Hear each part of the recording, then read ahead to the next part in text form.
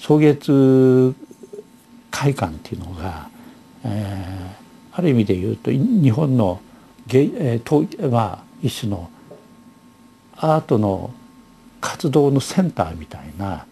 アートセンターのような役割をこう持ってたと思います。They had a kaikan. A kaikan is a sort of a, like a, a headquarters, a big building. And they had in the basement was an auditorium and something like a rumpus room, which is where uh, Hiroshi's friends would gather and sort of experiment with various things. Among them were a number of composers, notably Toru Takemitsu, uh, a number of artists, uh, yeah, architects uh, like Isozaki.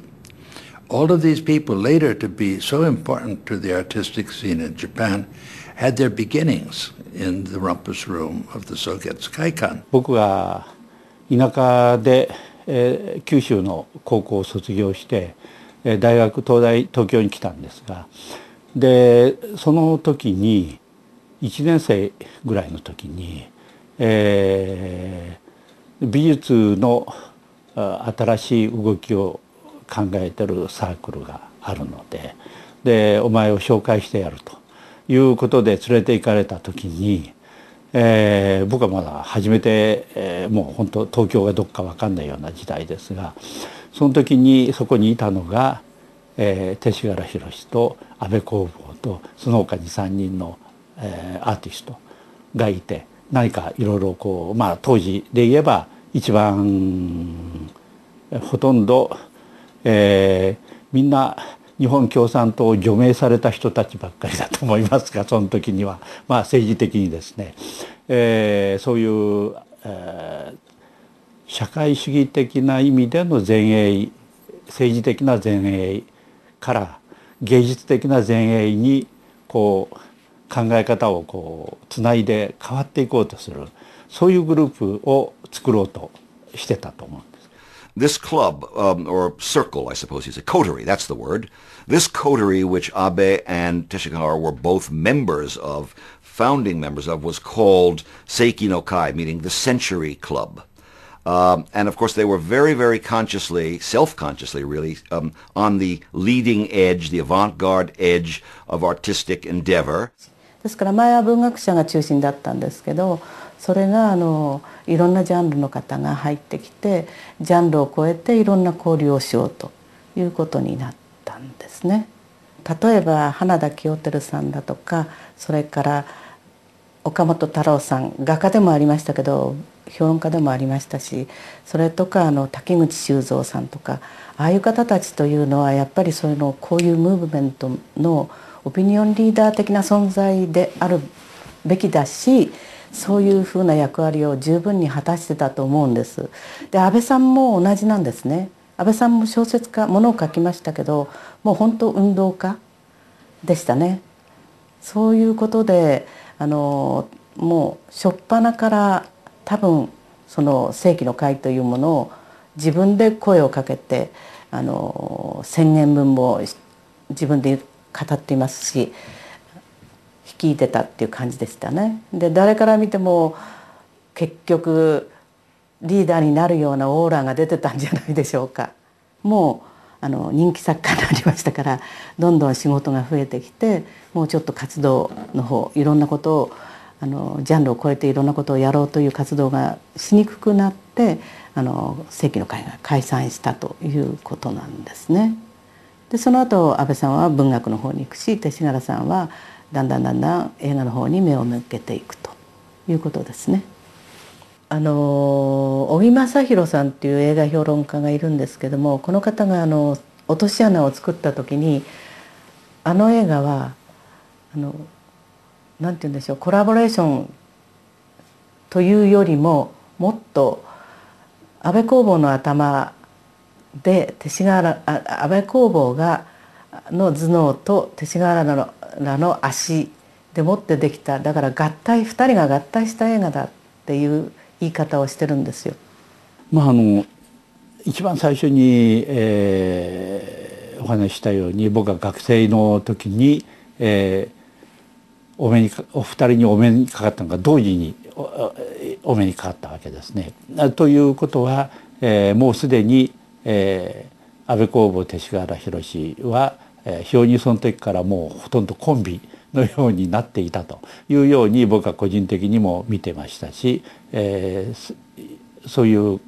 印象だったと思います。であの安倍公房はあの作家としてデビューをして、えー、まあいろんなあの作品を次々に発表してきたと。で、まあ、広井さんはその、まあ、いわば安倍公房よりものスタートを遅れて彼のシナリオで自分の作品を作り始めたという、まあ、こういうあの順序だと思うんですね。でそれで考えてみると、えー、安倍公房さんというのは少なくとも広さんにとってはそうだったと思うし僕にとってもそうですがやっぱりこのそれまでの日本の文学と全く違う、えー、そうかといってヨーロッパの、まあ、例えばカフタカフカとかジョイスとかあそういう人たちの文学ともまた違うなんかこうそういうところの間にいてでこれをあの非常にこうなんていうのかなあの独特の仕事を始めた人だというようにまあ僕は思ってます。In Abe's case, I believe that he was self-consciously in touch with, if not emulating, primarily Western kinds of writing and thinking. Uh, he was a real modernist, interested in stream of consciousness and in, in, in, psych, in psychological insight. Um, Joyce was someone that he read a lot of and treasured. I know he was he, read, he was a Thomas Mann reader. Um, and of course, Kafka as well was somebody who definitely influenced him, or at least somebody whom he admired greatly, uh, and in fact imitated in some cases, uh, using you know capital initials to refer to to characters as, as Kafka did, and so on. He, it, right down to typology, uh, there was a certain influence from Kafka, which um, you can see and you can discern in Abe's work. 変身まあもともと安倍さんがの仕事をカフカと、えー、つないで、えー、いろいろ議論されるのは、その変身のテーマみたいなものがあることはあのあるのはあのはっきりしてると思うんですけど、えー、どう言ったらいいんですか？あの安倍さんの場合はあの僕のこれは個人的な解釈ですけれども、えー、この現代社会における人間の存在みたいなものが現代社会からのこう一種の抑圧それからシステムのとの齟齬みたいなものが人間にこう与えるなんか影響を与える与えることが今度ひ、えー、人間自身を別なものに変えてしまうというこの関係を一生懸命考えられたんじゃないかなと思うんですね。In terms of Abe's novels, uh, I haven't been able to read them in Japanese, but in their English translations, one gets the sense they have an extremely clear prose, uh, almost Hemingway-like in a sense. A lot of short sentences, very clear descriptions, not a lot of adornment of language, and in a certain way, uh, they have a very visual quality because of that, because you really get such a strong sense of what things look like in a way, without a lot of extra kind of description. So there's a way in which Abe seems to me one of those writers who thinks in images, and I think some of that imagistic thought makes its way onto the page. Whether or not he immediately thought, gee, these novels would make good films, certainly I think when he teamed up with Teshigahara, he found somebody who truly respected the work and knew how to bring the most out of it in a way. Abe, of course, was born and grew up uh, in wartime Manchuria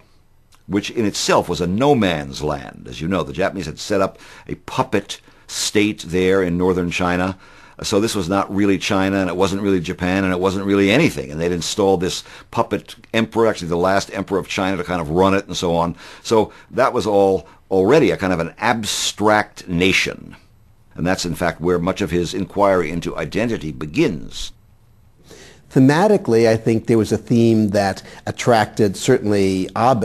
it's in almost all his books, and I think in Teshigahara too, and that's the notion of the loss of identity, which is a very, very modern theme in a way, the idea that especially in a society, you know, mass society, contemporary society, or a society like Japan where there's tremendous pressure for people to conform, to be seen as part of the group, to not stick out too much, the idea of who is the individual and what does the individual mean in modern life is a theme that uh, Teshigahara and Abe treat in a fascinating manner in their films, very differently uh, in a film like Women of the Dunes, which of course is a kind of social allegory in a way, uh, or in a film like Face of Another, which is the sort of science fiction flavored film, or finally in a film like uh, The Ruined Map, which of course is a detective film. The idea that they were able to take this basic theme and work it through various genre, various very different types of films is really kind of a very interesting experiment and for me stands as one of the great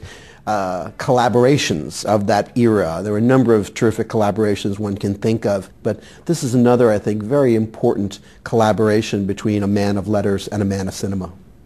The Abe Teshigahara collaboration was, in my own view, particularly fortuitous and successful in their best effort, Woman in the Dunes, which I think is far and away Teshigahara's best film. Um, here, you can see that the Abe intelligence thematically about identity, what does it mean to be who you are? How much, how much identification do you need? What is the nature of freedom? What, is the, what does captivity have to do with freedom? All of these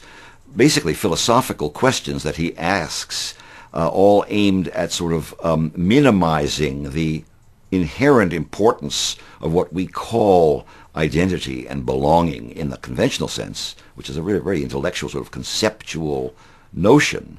combines so beautifully with the kind of micro